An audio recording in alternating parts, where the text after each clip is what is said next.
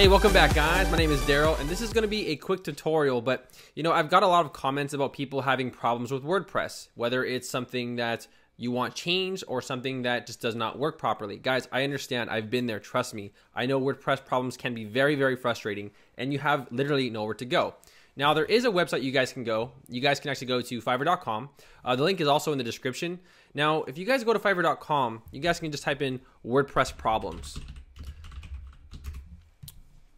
and it will actually give you a list of people that actually will fix certain small issues you have on your website. And guys this is the cheapest alternative. You know going to freelancer they're going to charge you at least 20 30 dollars. I have you know talked about freelancer before but in this case i have personally used fiverr and i've actually met my developer on fiverr as well.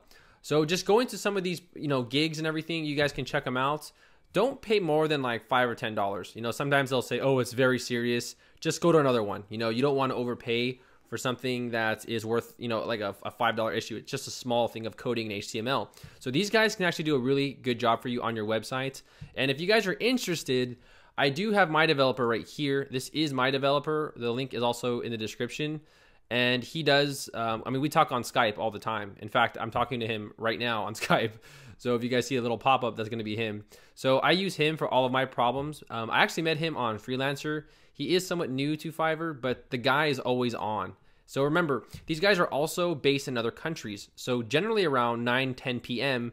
my time, which I live in California, that's when these guys basically get up to go to work. So these guys are getting up around uh, like, you know, 7, 8, whatever to go to work. And in our time, United States, it's going to be around either 7 to 10 p.m. Okay. So if you guys have problems, just go ahead and try some of these guys out. I know I can't help everybody in the comments. I, am very, I'm very aware. It sucks when you have problems and you have nowhere to go. It's very frustrating. But this is the best place for you to go. It's the cheapest. Any other website's going to charge you like 50 bucks an hour. So this site is legitimate. And you know, once you you know try them out, you guys can build a relationship. You can you know add them on Skype or whatever, and then from there you guys can work stuff out. But uh, it's definitely worth a try if you are having problems to find somebody. Um, like I said, I, I personally recommend it. Uh, their work is really, really good. So be sure to check out fiverr.com, guys. Um, I really hope it helps you guys out because I know it can be very frustrating. I've gotten a lot of emails, people asking me, you know, I need help with this. Can you log in? And I, I, I said, brother, I, I can't just work for free all the time. you know, like I, I really, uh, I, I, my heart goes out to you, you know, because I know they're frustrating. But at the same time, I just can't log in on websites all the time for free, okay? So be sure to check out Fiverr.com, guys. It will really help you out with your problems. And that's about it for my tutorial, guys. I will see you guys later.